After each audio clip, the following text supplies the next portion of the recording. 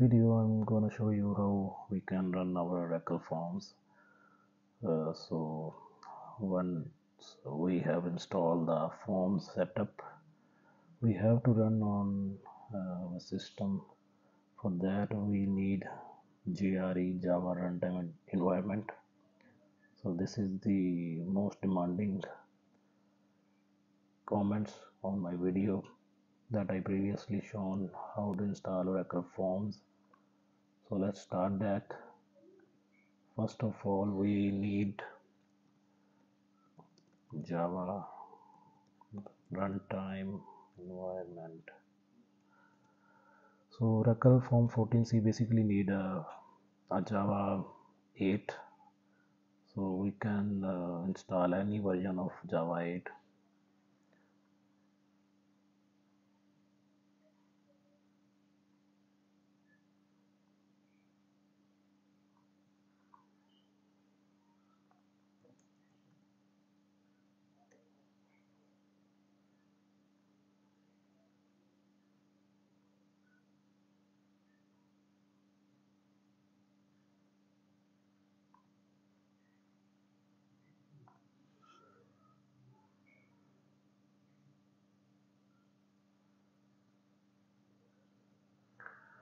so for java 8 we have 8 update 421 here as the latest.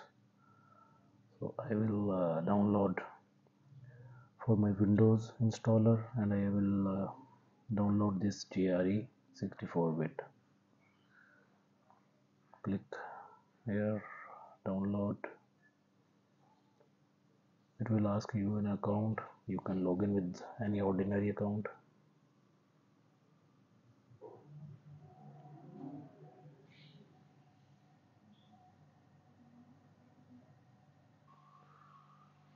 so once we have java jre downloaded we have to run that as administrator.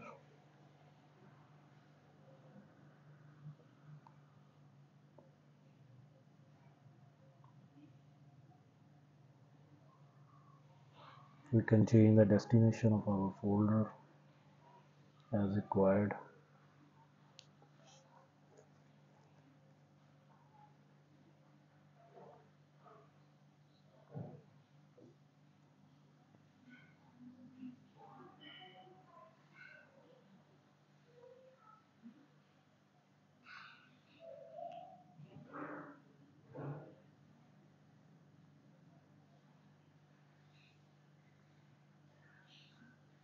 Java we can now run our forms.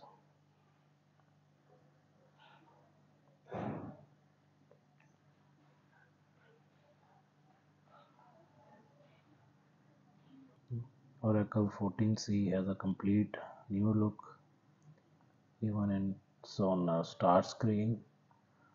So let me start with this module 1 we will save that in our default location which is uh, Oracle middleware Oracle home forms.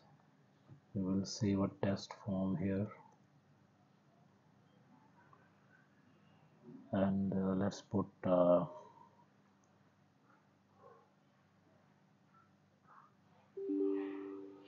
canvas here.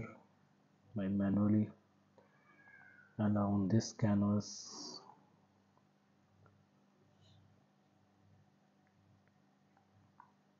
we will put a button.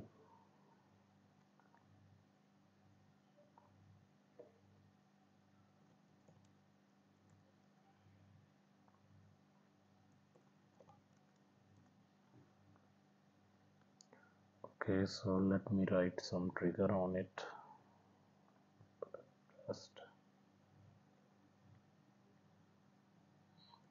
Uh, for example exit form okay we have to connect that.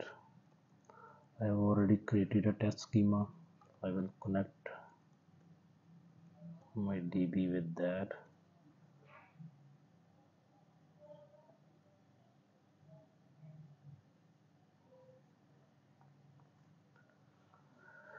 So my form is uh, ready this is a test form just and I'm now trying to run it I have to set my preferences here.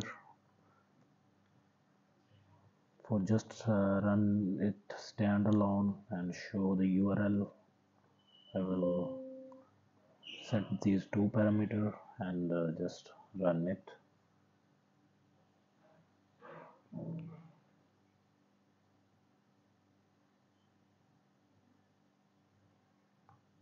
So a complete look of Oracle 14c form started my form. We can further uh, make the development on this form but this is just test how to run it on client side or a server side. Client side mean that it's development server